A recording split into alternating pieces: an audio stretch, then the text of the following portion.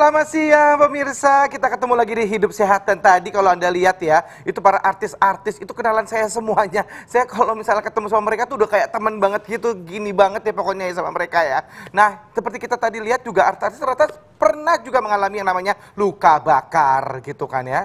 Nah, Sila. Nah, heeh. Dokter Sila ya sekarang ya Iya. bilangnya ya. kan saya pinter ya Oh soalnya iya ya. betul. Nah, Hmm. ini mungkin pemirsa nih pada uh, pengen tahu nih gimana sih caranya kalau misalnya pemirsa nih kena luka bakar di rumah dan Hmm. apalagi sekarang kita udah mulai WFH lagi ya. Mungkin pemirsa nih jadinya banyak kegiatan-kegiatan aktivitas yang biasanya kita kerjakan di luar, tapi sekarang ini kita biasa untuk melakukan di rumah. Contohnya adalah memasak. Nah, bener itu bener banget. Itu kadang-kadang tuh istriku tuh ya kalau lagi masak tuh kena yang namanya apa cipratan-cipratan minyak gitu kan ya. Eh, kena air panas Iya. gitu. Nah, itu gimana cara Dok pertolongan pertamanya gitu loh, Dok? Pertolongan pertama. Mm-mm. Nah, ini dia masyarakat nih wajib banget untuk mengetahui derajat-derajat luka bakar sebelum mereka bisa menentukan eh, luka bakar ini tuh bisa ditata laksanakan sendiri di rumah atau mereka harus ditata laksanakan dibawa ke rumah sakit. Itu pakai ada Nah, derajat-derajat ada, segala? ada derajat-derajatnya. Jadi ada derajat 1, derajat 2A, Oh, kirain derajat panasnya 2B. 90 derajat oh, bukan, atau oh. bukan.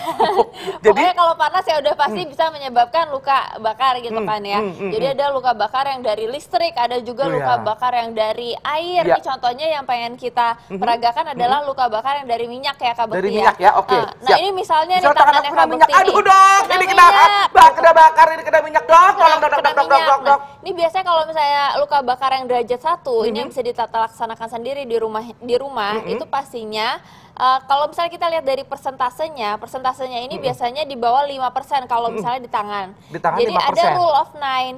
Jadi Oh. rule of nine ini Rule of kayak nine. eh, Hmm. Tangan ini adalah sem- 9%. Hmm, Terus udah gitu 9%. kalau eh, satu ini 9%. Hmm. Terus dada 9%, perut 9%, kaki 9% masing-masing. Em, jadi ini kalau misalnya ditotalkan 9% 9% ini dan eh, satu persen di daerah genital itu totalnya jadinya 100%. Oke. Nah, pokoknya kalau misalnya udah di atas 15% itu wajib untuk langsung dibawa ke rumah Ya. sakit. Tidak boleh ditata laksanakan di rumah. Nah, kalau kayak cuman kecil doang gitu, Dok. Ya berarti ini berarti 9% ya.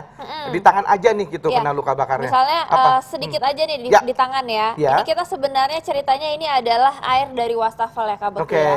Ini pokoknya harus air mengalir Oh, harus kalau air yang mengalir? Mm-mm, sebenarnya harusnya kalau bisa tuh NaCl. Cuma kan kalau di NaCl. rumah kan mungkin nggak ada NaCl, Iya. jadi kita pakai air mengalir aja. Hmm. Ah, di tempat lukanya persis. Kan Ini banyak ceritanya. Mm-mm. Hmm. Ini supaya apa sih, Dok? Ini soalnya supaya untuk menghilangkan efek dari panasnya itu. Oh. Tapi kita nggak boleh pakai es Kak Bekti. Oh, es nggak boleh. Es nggak boleh. Jadi kan banyak yang suka pakai es atau pakai odol tuh supaya Aku biasa pakai mentega gitu. Oh, oh, untuk mendapatkan sensasi dingin kan. Tapi kita takut justru malah infeksinya semakin parah kalau misalnya kayak gitu. Jadi pertama banget itu yang harus dilakukan adalah mengalirkan air yang mengalir Iya. di atas eh, luka bakar Iya tersebut. betul, cukup Itu lama. berapa menit? Cukup lama Kak Bekti. Oh, Ini- dilama-lamain. uh-uh. bukan dilama-lamain, tapi memang em, Agak lama. Wajibnya itu sekitar sampai 20 menit. Oh, sampai 20 menit dan sampai mungkin merasa nyaman mungkin dari sampai merasa supaya nyaman. terasa si iya. Pokoknya panasnya. minimal 20 menit. Ini namanya proses irigasi Kak Bekti. Proses irigasi. Heeh. Apa Jadi itu memang maksudnya? harus 20 menit. Ini seandainya misalnya memang sudah 20 menit ya ini ya Kak Bekti ya. mm, mm, mm. Nah udah, terus udah gitu apa, Apa yang yang dirasain nih biasanya kan biasanya kita eh, pemirsa mungkin ngerasa lebih nyaman. Ya. Yang tadinya itu rasanya perih, mungkin rasa lebih nyaman. Nah kalau misalnya belum merasa lebih nyaman, Ya. ini boleh diulang lagi nih. Oh, Pokoknya diulang setiap diulang tiga jam. setiap tiga jam. Setiap tiga jam. Tapi untuk yang misalnya kita tahu memang dia kecil kan posisi Ya. porsinya ini kecil gitu, Mm-mm. jadi bisa ditata laksanakan sendiri di rumah. Mm-mm. Tapi wajib kalau misalnya udah sampai yang ada namanya bula atau misalnya kayak Melepuh? benjolan melepuh gitu ya. Hmm, Em, itu namanya bula. Namanya bula Oh. gitu. Nah ini em, itu harus ditata laksanakannya secara berbeda. Tapi Apa tetap tuh? pertama harus diirigasi dulu. Eh, tetap Setelah dikasih itu- air lagi tetap seperti tadi. hmm. tetap diirigasi dulu tapi kalau misalnya bulannya ini banyak dan memang sampai perih sampai ada perdarahan itu nanti kita tata laksananya beda lagi Hmm. Uh, dan Oke. itu wajib dibawa ke rumah sakit, Oke. setelah Ceritanya itu. ini belum eh, bulannya tuh belum nongol nih misalnya. belum nongol baru merah-merah aja gitu ya jadi eh, tapi pasti ada rasa nyeri kan di Pasti. situ kan nah Hmm. rasa nyerinya itu bisa ditata laksanakan dengan contohnya minum NSAID gitu jadi em, Apa itu NSA? NSAID itu non steroid anti inflammatory drug Oh, Nah, artinya, artinya? adalah obat-obatan non steroid yang bisa menghilangkan nyeri. Hmm. Nah, ini misalnya dari nge- dijual bebas gitu dok? Iya dijual bebas Apa seperti itu, Dok? ibuprofen ataupun aspirin. Ini Hmm. contohnya Kak Bukti minum satu em, tablet ibuprofen. Itu Mm-mm. biasanya mampu untuk menghilangkan rasa nyerinya.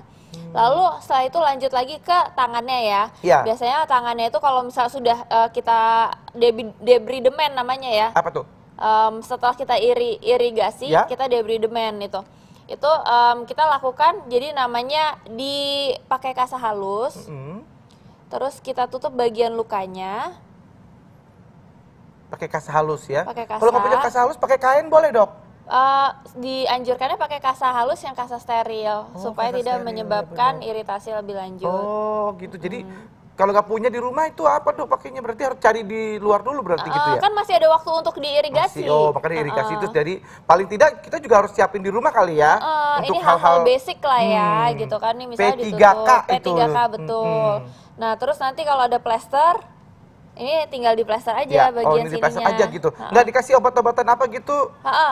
Nah sebenarnya ini bisa dipa- di- dikasih obat-obatan nih ya, misalnya udah ada waktu untuk beli obat, karena Hmm. Ya. jarang nih, jarang yang udah ada sedia misalnya salep Ya. uh, untuk luka bakar Hmm. ataupun salep antibiotik Mm-mm. gitu. Jadi itu bisa dipakai, biasanya dia dijual bebas. Oh dijual bebas. seperti ini.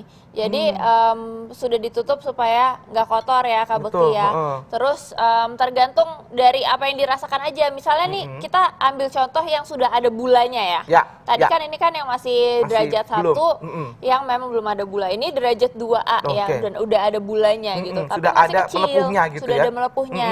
Nah, kita eh, masih tetap seperti awal. Maaf ya Kak Bukti. Si air, Ini kita eh, irigasi lagi dengan air mengalir selama 20 menit. Oke, udah ceritanya. Terus abis Anggap itu? aja udah. Mm-mm. Terus setelah itu kita em, lakukan yang namanya langsung harus kita kasih krim antibiotik. Oh, longsang. Karena- kasih krim antibiotik tuh di atasnya, di atasnya bulat tersebut. di atasnya bulat tersebut Hmm. baru kita tutup lagi Oh. dengan ini nah seperti Baik. itu Jadi Nah, ini sebelum kita ke dokter sebelum nih ya, ini adalah pertolongan dokter. pertama pada Dan ini- kecelakaan. dan ingat kalau misalnya sudah lebih dari 15% Ya.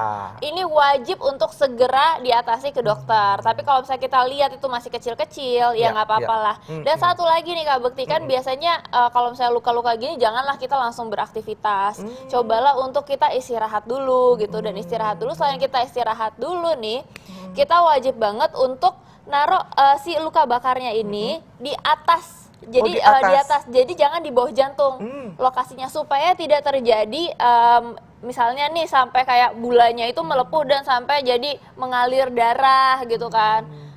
Ataupun Hmm. Nah, Kalau misalnya, misalnya di kaki itu eh, kecepatan di kaki, itu kakinya dikeatasin juga dong. sama eh, Oh. kakinya harus dikatasin. Jadi misalnya kita tiduran Nah, di kalau di bawah. perut? Kalau di perut ya susah lah.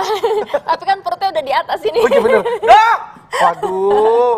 Dokter bercanda aja. ya kurang lebih kayak gitu ya Kak Bukti ya. Hmm, Gitu.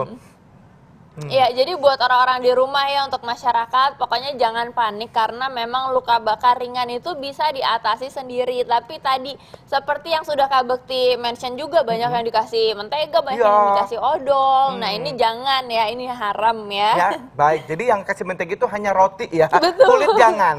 Bukan tangan. Kasih odol untuk gigi, bukan untuk kulit. Betul, Karena mungkin pokoknya- orang ngelihatnya odol itu kan dingin kali ya. Jadi untuk bisa menghilangkan rasa panasnya bakal kasih odol gitu mungkin ya. Ha-ha. Hmm. Nah, eh, selain itu nih ngomong-ngomongin soal luka bakar, Ya. selain itu kita juga ingin ngebahas soal pengobatan alternatif Eh, lainnya. tapi aku ngomong-ngomong pengen kasih tahu nih, Apa ternyata nih dokter Sheila pinter banget Oh, ya. terima kasih Double ya dong. degree sih soalnya Double ya. degree dong, Wih, aku luar dapat dari UI, Iya, terus UI. juga dari Bachelor of Medical Science dari Melbourne dong, Kak Pantesan, gak cuma ngomong-ngomong gitu doang, Iya nanya-nanya dong. doang. Ternyata bisa Sebenarnya belum juga ya. dikasih kesempatan aja selama Oke. ini. Baiklah kalau begitu, eh, pemirsa sebentar lagi kita akan membahas seputar herbal, pengobatan herbal Iya. ya. Nah, semua macam pengobatan herbal akan kita bahas bersama-sama di sini ya. Dan kita juga konsultasi bersama juga. Anda juga bisa nelfon juga nanti ya. Baik kalau gitu, jangan ke mana-mana, tetap bersama kami di Hidup, sehat.